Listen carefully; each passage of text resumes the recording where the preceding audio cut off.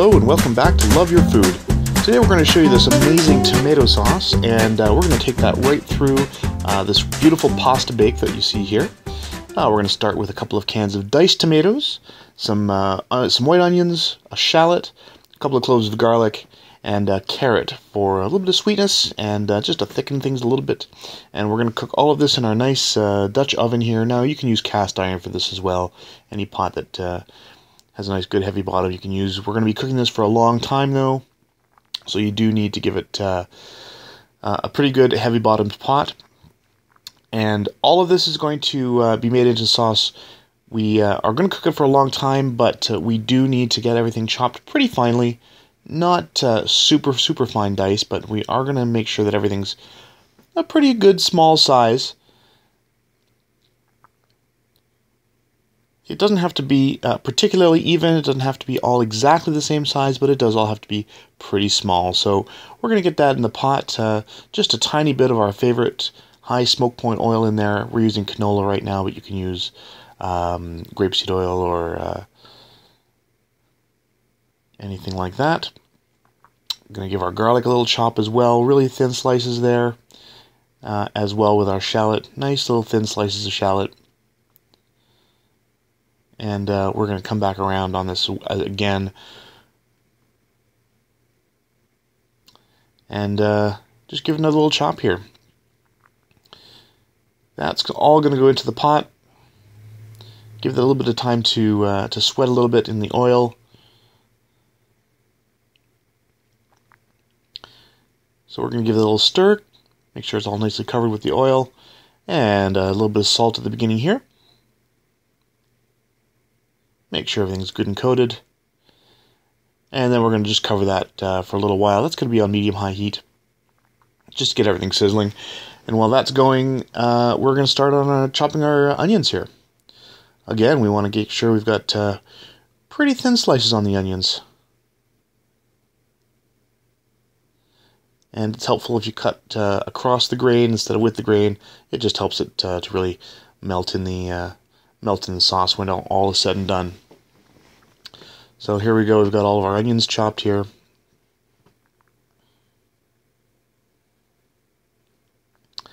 And all of that uh, is going to go into the pot now.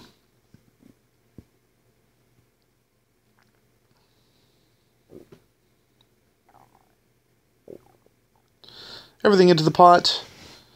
We're going to get that, uh, let those onions wilt a little bit. Just make sure we get everything nice and hot. Again, a little bit of salt on the onions. All the veggies need a little bit of salt. Get it all stirred up. Make sure that uh, we've got the onions touching the uh, bottom of the pan there.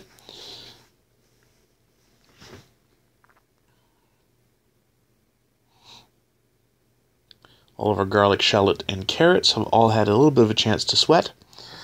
So we're going to make sure that they're uh, well blended in there and we've got some good contact of the onions at the bottom and give it a cover.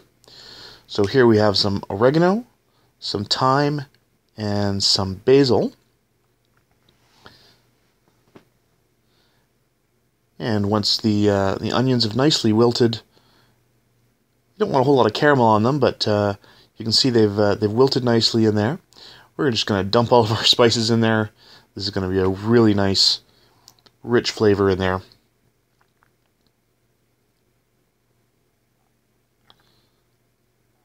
And our tomatoes are going to be going at the same time. So let's get those in there too. Now we're just going to use two cans of the uh, already diced tomatoes.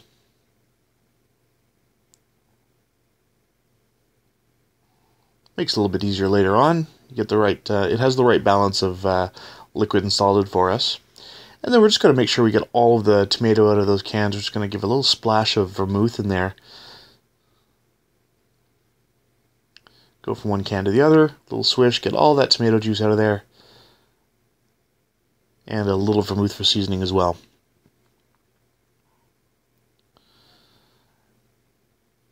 Now we're going to just leave this cook for a little while. Once it's all well combined, get those onions and carrots, garlic, and shallots mixed in with the tomatoes. We're going to cover this again and we're going to let it cook for a few hours.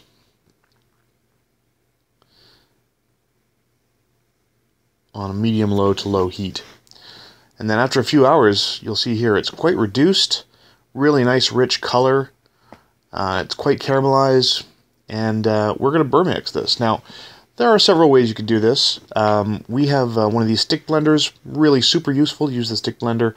If you don't have one of these, you can do this in uh, a blender or a food processor. You just have to make sure that it's well covered because this is extremely hot. Um, so if you're putting it in the blender, make sure you've got a good lid on the blender. Make sure that uh, your um, your food processor has a good seal on it. You don't want this splashing all over the place, and because it's uh, a tomato sauce, it does tend to get a little splashy.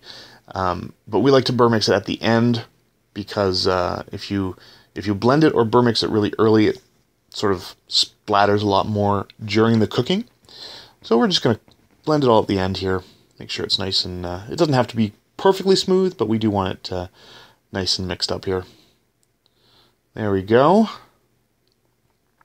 So that's the end of our sauce. Now we're going to use this in uh, pasta bake today with this beautiful uh, ground beef, some mushrooms. We have a zucchini here. Uh, a little bit more garlic, uh, one of our dried hot peppers, and a little bit more uh, oregano there. So we're going to get, uh, actually this is a little bit of bacon grease in our pan to start with. But again, you can use any kind of oil you want, or no oil if you're using a pretty high fat ground beef. We just want to make sure that nothing's sticking right now. And we're just going to get that beef in there right now. A little bit of garlic to start. Want to make sure that we're uh, waking up the uh, aromas in that garlic and uh, hot pepper first. Good salting on the beef. Make sure that's uh, well seasoned. Nice little coating of black pepper on there. And you can do this while your garlic and, uh, and hot peppers are sweating a little bit in the pan. And into the pan it goes. Gonna get a nice sizzle right off the bat.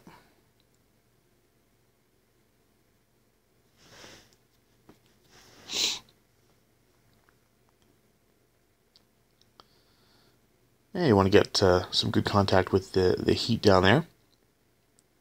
Now, as I said, we're uh, we're not going to use all of the sauce in this. So the rest of the sauce we're going to use in some future product, uh, some future projects. So keep an eye out for that. This sauce can uh, hold in the fridge for quite some time. All right, let's get our spices in there as well. And we're going to start breaking up that beef and let it nice uh, get a nice sear on the bottom. Get it mixed up with that garlic. Get the spices, the salt and pepper all mixed in there.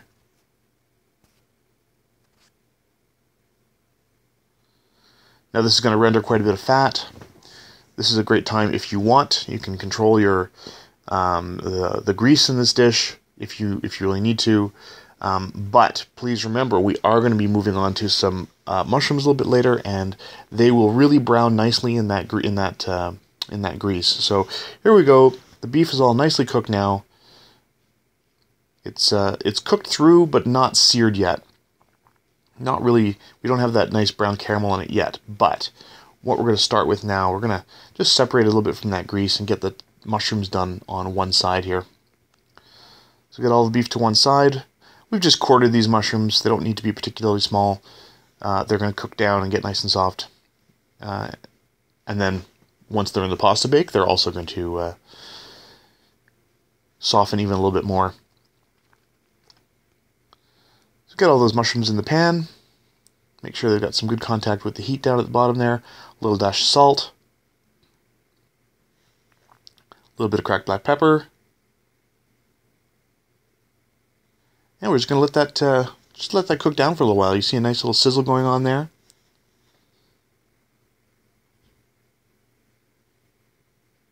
We're just going to keep that going for a little while now.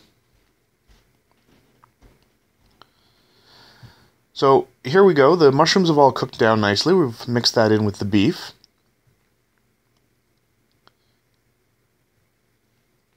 And once uh, now you can really see a good sear on the beef. We're really browning it nicely now. Really good, rich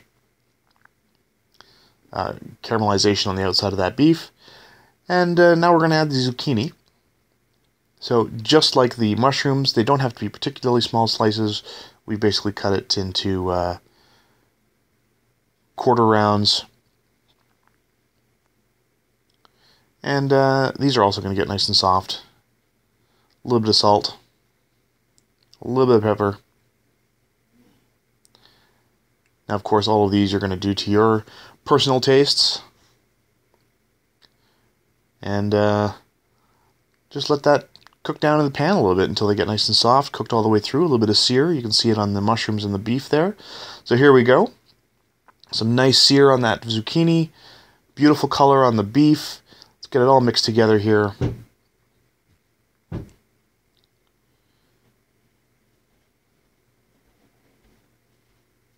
Make sure it's all well well combined.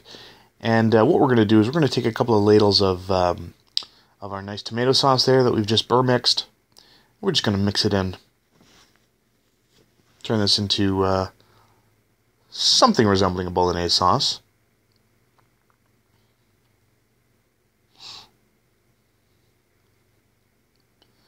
Just get that all nicely combined. We've got the beautiful tomato sauce in there with those great caramelized mushrooms and zucchini, that nice dark browned beef.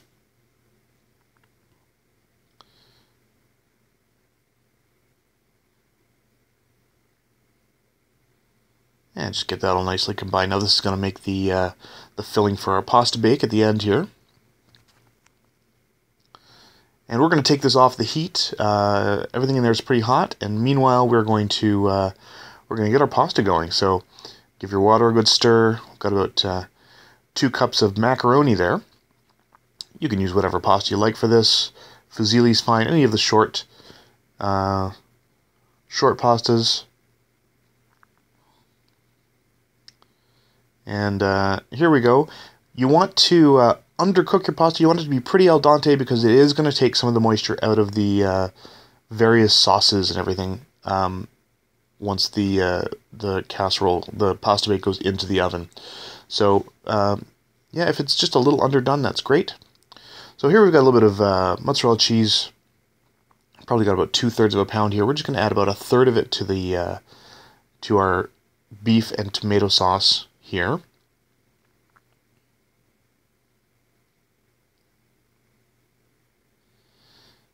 And the rest of it, of course, is going to go on top. We'll show you that in, a little in uh, just a moment here. So get the cheese in the pot, get it well combined. As you can see, we've taken this off the heat, so it's not melting immediately. And then we're going to add our pasta as well. Get that well combined in there as well. We're going to get that nice and mixed in. Just a gentle little stir. Get the pasta well combined with the sauce.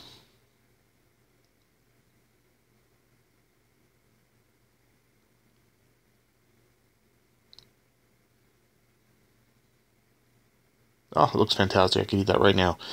But we're going to go a little further with this.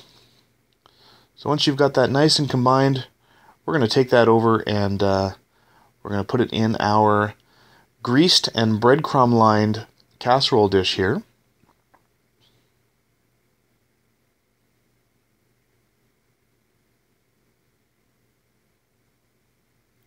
I apologize for the lighting here. It's uh, our kitchen isn't exactly perfectly laid out for this, but uh, here we're just going to get the uh, the mixture evenly spread around in our in our casserole dish here. You can see all those nice chunks of zucchini, nice mushrooms in there, our tomato beef sauce. There's some cheese in there as well. And uh, we're just trying to get that as even as we possibly can so that it'll, it will bake evenly once it's in the oven.